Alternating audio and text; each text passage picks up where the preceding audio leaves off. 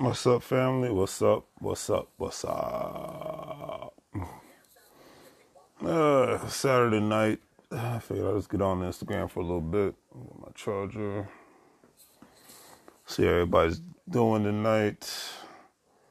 Figured I'd go live real quick before I call it a night.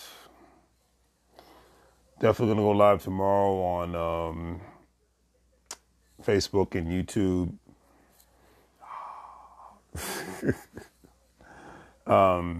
Talk about one of my one of the best um, musical artists slash um, entrepreneur known as Mr. Nipsey Hussle. He was just very iconic and definitely before his time. And um, I'm going to go in deep and hopefully I hear from y'all out there. You know what I mean, family? In regards to the, his contributions, because the main reason why I'm going to go over it, um, because you, for good or worse, you see what's happening with cryptocurrency. And I, I didn't even realize how he was talking about cryptocurrency back there in 2017, 18. Him even going to Europe and seeing the foundation of it all. It's just very, very interesting. So I'm definitely going to get into that more so, and I'm going to do a little bit more research and prepare a nice live session, and hopefully my people will show up for it. You know, and we'll have a discussion, you give me your perspective on it because we definitely need more people like that. Um, it's unfortunate people uh, he was taken out of this world back in 2019. Seems like it was yesterday, but you know, we need less stupidity, we need less basic people, and we need more exceptional people.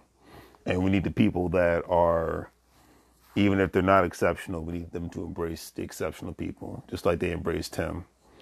Um, like when I when I come across somebody who um, is quote unquote considered a nerd, quote unquote considered, you know, not cool, you know, all that high school nonsense. I I got I want to listen to them more so because I know I got I learn a lot more from them, and I know that um, the ideas that they have not just come from their mind or their perspective and whatnot, but comes from life experience that they have all at the same time. So definitely want to hear from people like that. The because it's not it's you know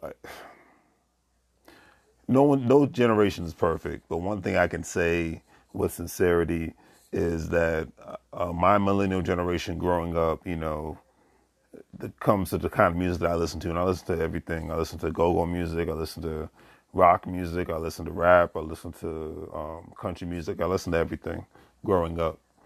And that's one reason why i'm glad i come from the dmv area being able to be exposed to so many different cultures and whatnot and exposed to so many different lifestyles, you know, um, especially growing up around the military atmosphere, you know, I'm very, very appreciative of that.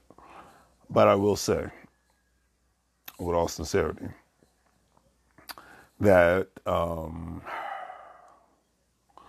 that you know, it's when I was coming up around a lot of people I was around, it, it was cool to be stupid, but then a lot of other people it wasn't cool to be stupid. I'll give a great example, and this is my little rant for Saturday night, so I'm just going all in. during my time frame growing up, you know, I had the No Limit Soldiers, I had the Cash Monies, I had the Wu Tang Clans, I had the Bone Thugs and Harmonies, I had the Dog Pounds, I had the West Side Connect Gang, uh, West Side uh, West Side Connection. So I had people coming from all over the you know the country, and back then all the rappers didn't sound all the same. You know, I had the DMXs, I had the LOX, had the Jay Z's, you know, the Beanie Siegels, you know. So I had a nice mixture of people and whatnot growing up during that time frame. So it was a it was a big mixture. You know, you had the Saint Lunatics, you had the D12s, you had the Eminems. Like I said, you've had people from the Midwest, the West Coast, the East, the South, and there was a difference. You could tell the difference back then. Um, but one thing was clear: ownership and being intelligent was on the to do list during that time frame. Um, the one thing I appreciated going, growing up during you know the late '90s, early 2000s time frame Um, you know, I could listen to a Mos Def. If you don't know who that is, look them up. I could listen to a Talib Kweli. Then I could listen to a Bone Thugs and Harmony. Then I could listen to a Wu Tang Clan. Then I could listen to a Pharcyde. I could listen to a Jurassic Five. I could listen to um, the Licks, the Xzibits. I could listen to Master P. I could listen to UGK. I could listen to um, Outkast. Um, you know, I could listen to Petey Pablo. I could listen to Beanie Siegel. I could listen to State Property. I could listen to, um, you know, the Diplomats. I could li- listen to all those different groups that I've just mentioned. And there was all different perspectives. But one thing was clear. It wasn't cool to be stupid at the time, you know. I could listen to a Common. I could listen to a Do or Die. I could listen to Twista. You know, I could listen to a Kanye West. I could listen to I and when you listen to those people, you got all different perspectives. Totally different perspectives. And that's one thing I can say with sincerity. And that's the thing I enjoyed about growing up during that time frame, you know, the late 90s, early 2000s, you know, being a teenager during that time frame is that you were able to listen to different perspectives. You know, you had your Nas's, you had your Eminems, you had your Chino XLs, you had your Tech N9nes, you know, you had your um, all these different um, groups, you know. But there was a lot of different perspectives, you know, Jayo Felonies, Kool G Rap, you know, um, KRS One. You had all those different perspectives. Nelly, you know, Chingy. Like I said, list goes on and on and on, but there were different perspectives. And and for me, I respected that. And the reason why I'm talking about that is, you know, we live in a time frame where everybody wants to choose sides and whatnot, and you don't want people to, um, people don't want to um, be able to say, well, hey, I respect that your opinion. You're coming at it from a different place. We might disagree, but we can agree to disagree and move forward.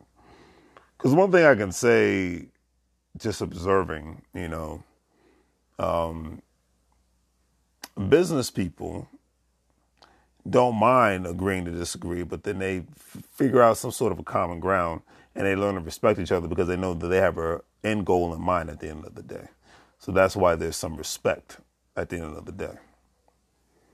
And um, a lot of you notice this with a lot of um, music artists. Um, great example. I was just watching the Godcast with Lord Jamar and Warren G and you know, the way that they were talking to each other, they were like the best of friends and whatnot. You know, they come from the same era, but, you know, one's from New York City, the other one's from Los Angeles, Long Beach to be specific, and whatnot. And one thing that Warren G said, he was like, you know, when I was coming up outside of Tupac and Biggie, you know, rappers weren't killing each other. He said, when I was coming up, you know, I didn't mind being different from other people. I didn't mind getting different perspectives. He's like, when I went to New York City, Warren G said, he's like, hey, um, LL Cool J picked me up and drove me around Queens and showed me what it was in New York City and whatnot. He said I wanted to go to the Bronx and see where KRS One came from. So he wanted to think outside of the box. He wanted to be around people that thought differently from him. And you can't grow if you're not around people that are not that are that think that don't think differently from you. I don't care where you, where you come from. I don't care what country you come from, city, state. I don't care what your religious beliefs are. You can't grow if you're always around the same kind of people that are not willing to think differently and think outside the box. I mean, you think Elon Musk or Bill Gates or Steve Jobs or Russell Simmons or Daymond Johns, Mark Cuban, I can go on and on, would be who they are or who they were if they were always around people that thought the same. That's just something to think about. You know, it's like, throw all the nonsense aside that what the media talks about in regards to, you know, as I like to call stalling tactics or tactics that do a great job of keeping people separated and whatnot. Throw it all out the window.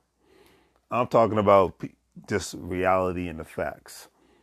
Um, would these people still be who they are today if they would have thought, stuck around people that think a same kind of, a specific kind of way or whatnot? I mean, if Elon Musk would have never left South Africa, would he be the man who he is to who that he is today? If Russell Simmons would have just stayed in Queens and not think outside of the box, would he be who he is today? Dame Johns. Same thing. If Mark Cuban would have never went to um, Dallas, leaving Pittsburgh, would he be who he is today? That's really the point at the end of the day, what I'm really getting at. You know, a lot of people join the military so they can get away from their environment, serve their country, do a great job of doing that, and be able to you know, grow and be the best person that they can be, whether it's in the service of country or just are in the service of themselves or both. You know what I mean? But a lot of people grow from those different experiences being put in different environments. You know, so I mean, I'll even go keeping it with today's people. Uh, Cardi B, I'm not the biggest fan of her, but she's a smart businesswoman now. So I'm going to give credit where credit is due. If Cardi B was just hanging out in the hood back in the South Bronx, would she be who she is today? Fat Joe that came from the South Bronx, would he be who he is today? Jennifer Lopez, would she be who she is today? It's about moving around and being around different kinds of people. I'm just saying. You know, and thinking outside of the box, not being scared to do something different and whatnot. Not we're, we're not meant to go the path that our parents went. You know, because if everybody did that, then everybody would be the same, and that the world is not meant for us to be like that. You know what I mean? So that's all I can say. It's, it's a, this is this basically tonight. This rant is just about people not wanting to think outside of the box. People don't want to stay in their comfort zone. You know, and you know, being able to grow up in a time where people th- not only thought differently, but it was cool to stand out instead of just trying to be like everybody else. And you see, I see that with a lot of younger people, so I give that a lot of credit, give them a lot of credit. A lot of them want to stand out. A lot of them have their own sense of individuality, and I and I really appreciate that, you know, because that's what it's all about. I myself was always a person that doesn't mind dressing different from everybody else. You know, I'm not going to wear the tight shirts and the tight jeans. That's not happening. Um, you know, I'm not. I'm not going old school with the super baggy uh, t-shirts or, or, jeans or anything of that nature. But I'm not wearing tight t-shirts and tight tights uh, pants. That's not happening. So, um, but that's my individuality. What's your individuality? Let me know if you know what I mean in the comment section. But that's at the end of the day, that's just what it is. You know, we're we're all meant to stand out. We're all meant to be different this whole notion of you know everybody has to dress a specific way. That's one thing I can respect about my generation, the millennial generation. We've kind of changed that, and the younger, the you know Generation Z coming up behind me, we've changed that trajectory. I think wearing a shirt and ties is going to be, become a thing of the past. I think um, you know having quote unquote regular hairdos is going to become a thing of the past. You know. Um, more and more people are, you know, having the multicolor hairdos or lopsided hairdos or whatever have you that's becoming the new norm. Nothing wrong with that at all. But this whole notion of uh, being basic, it's got to stop. You know, a lot of uh, reprogramming is going to continuously take place. A lot of unlearning behavior is going to continuously take place in today's world. And I'm, hey, like I said, I'm excited about it. You know, to be honest with you, we're going into March, the third month of 2021, and you know, even though it seems like there's a lot of stagnation going on for a lot of people, the ball is just starting to roll. And hopefully you are in that category. Hopefully you want to be in that put in that category. You know what I mean? But it's interesting times that we're living in. I leave it at that. So on that note, family, I'm gonna call it a night. Do the great three free things: like, share, and subscribe. Have a great day, and as always, make money moves or live broke like a fool. Take care, family.